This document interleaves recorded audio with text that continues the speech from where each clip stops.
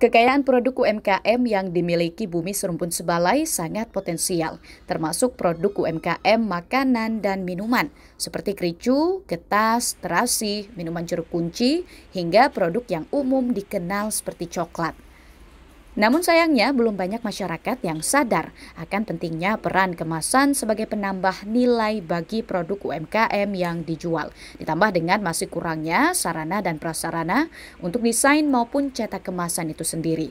Hal ini turut diungkapkan oleh salah satu pelaku UMKM Mirando yang bergerak di bidang minuman jeruk kunci peras, Kasmir Simon.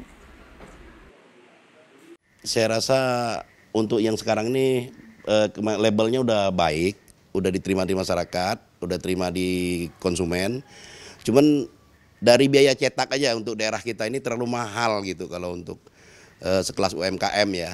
Uh, jadi kalau kalau di sini itu sampai begitu signifikannya harganya satu lembarnya 1000 1200 1100 itu padahal kecil ya kemasan kita itu. Nah itu itu aja kendala ini.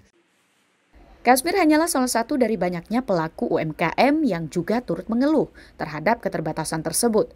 Hal inilah yang menjadi salah satu dasar berdirinya rumah promosi dan kemasan yang difokuskan untuk membantu menjawab permasalahan para pelaku UMKM yang ingin menambah nilai jual produknya dengan desain dan kemasan yang mumpuni.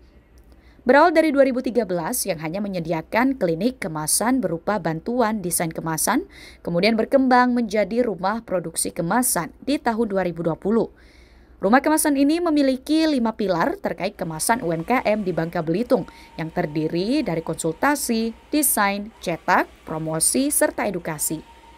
Rumah promosi kemasan menawarkan sejumlah kemudahan bagi para pelaku UMKM dengan memberikan layanan desain gratis, pelayanan dengan tanpa jumlah minimum cetak, serta promo diskon harga spesial di tanggal tertentu. Meski begitu, rumah promosi dan kemasan ini tentunya juga tetap memiliki keterbatasan, terutama dalam merambah seluruh pelaku UMKM yang ada di Bangka Belitung. Target kita dan tujuan kita adalah salah satunya adalah untuk membantu masyarakat atau UMKM, IKM yang ada di Bangka Belitung untuk menjual hasil produknya itu lebih laku lagi kalau bisa bisa go internasional gitu loh Bu dengan lainnya. Selama ini mereka kan biasanya jualannya dengan plastik biasa, kemasan biasa gitu.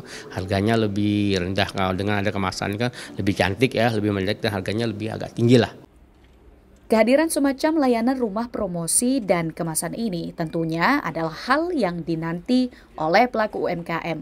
Salah satunya seperti Merinda Haris yang merupakan artisan coklat maker asal Bangka Belitung yang juga sangat berharap besar agar layanan yang ada terutama terkait cetak kemasan agar dapat bersaing dengan yang ada di luar kita aku yakin banget kita para UMKM ini pengen banget nyetaknya itu lokal aja di Bangka aja. Satu lebih dekat gitu ya. Yang kedua kita bisa saling support ya antara UMKM dengan percetakan kayak gitu kan. Pasti kita tuh pengen banget loh. Cuman memang uh, ya itu tadi ya problemnya ya. Uh, kalau masalah harga itu kan pasti bakal ke, ke kami UMKM ini bakal mempengaruhi HPP dan segala macam Lima pilar yang ditawarkan oleh rumah promosi dan kemasan ini, serta kesadaran akan perlunya kemasan menarik bagi suatu produk UMKM di kalangan para pelaku UMKM, dapat memberikan dampak positif bagi ranah UMKM itu sendiri, yang nantinya juga berdampak terhadap peningkatan kesejahteraan masyarakatnya. Tim Liputan TVRI Bangka Belitung melaporkan.